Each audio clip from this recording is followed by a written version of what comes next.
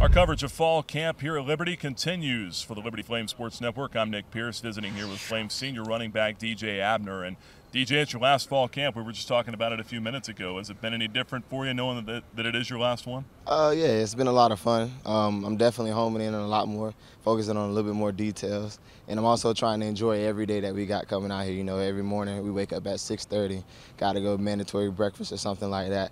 And, and oftentimes you kind of sit down and you look at that and you're like, oh, I don't want to do it. But now I'm kind of energetic when I'm going through the process. So I'm enjoying it.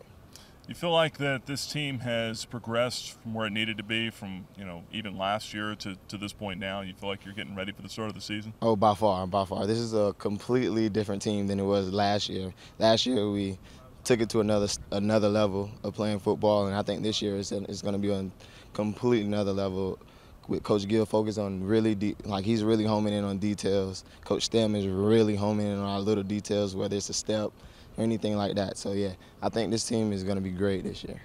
With Des Rice back in the fold now, you guys kind of preseason two-headed monster. That's the way it's being thought of.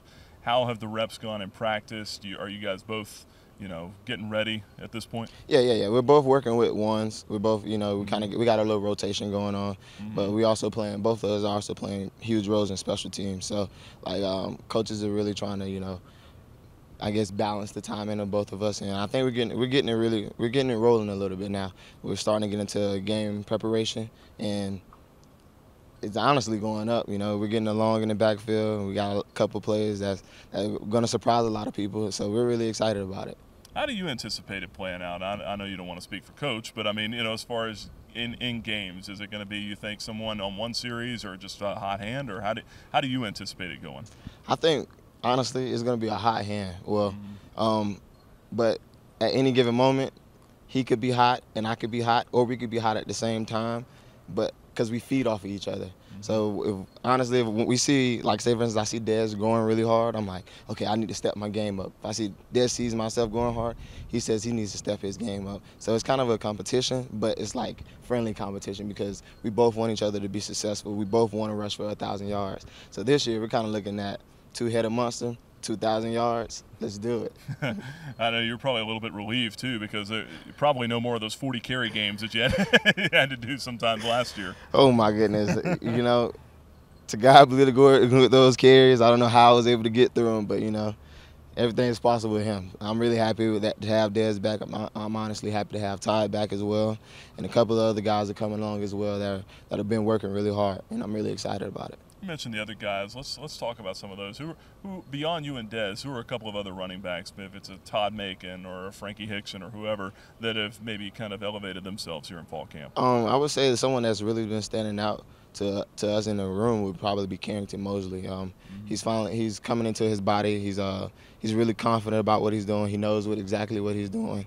Um, he's he's really honestly creating a, a little bit more controversy in the room because he, he wants to get a little bit more playing time now. Mm-hmm. So it's it's it's gonna be crazy, but he's he's been really doing his job and he's been really focused this fall camp. And Todd's coming off this injury and he's been working really hard. And for anyone coming off a broken foot or anything like that, it's incredible for them to come to see them come out here and perform and make cuts like they would normally do. And then you know Frankie Hickson, he's coming along. He's a freshman. He has a lot to learn, but his head is where it needs to be. So I'm like those guys are they're young, but they're coming and they're coming fast. It's talking to a couple of the other guys, you know, about the schedule this year. More road games than home games for the first time in a while. You do open at home. That's exciting. But, yes. uh, you know, you won a couple of big road games down the stretch last year at Coastal, number one team in the country, playoff game at James Madison. Did that do something for this team? This team have a little more bounce in its step now? Oh, well, yes, it does. We have we definitely walk around with a little, we have a little bit more confidence, a little bit more edge to our, to our playing style. Um, it's definitely a confidence booster winning those games on the road as well. You know, sometimes you you come in the game as an underdog or you come in the game as not being believed to play with those type of teams. But you know, going on the road and winning those games, and then coming into this season knowing that we won those games on the road, yeah, we we definitely have a little edge on it. We have a little edge. It's, it's, yeah. We're looking forward to the show here coming up on September 5th. One last thing before I let you get out of here. Speaking of September 5th, I know we talked the other day, that's going to be the first time that your dad's going to watch you play in a college football game. A little bit emotional for you, I'm sure. How excited are you for that game? I'm honestly really excited. Um, he hasn't been able to come to a lot of football games, and this one is my my senior year. He's coming to the first home game, so it's even crazier. And then he's coming from Bradenton, Florida, all the way up to Lynchburg, Virginia, on a flight, and um,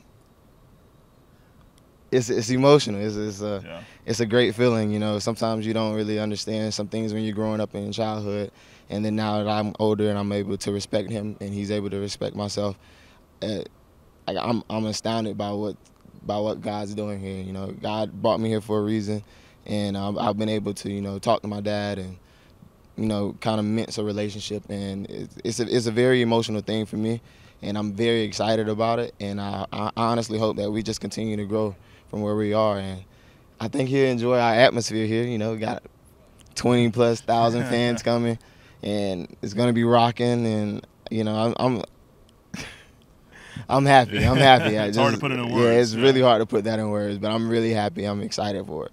Good stuff. DJ, appreciate the time. Look forward to watching you and Dez tear it up out there this year. Yes, sir. That's DJ Abnar, Flames running back with us. My name is Nick Pierce for the Liberty Flames Sports Network.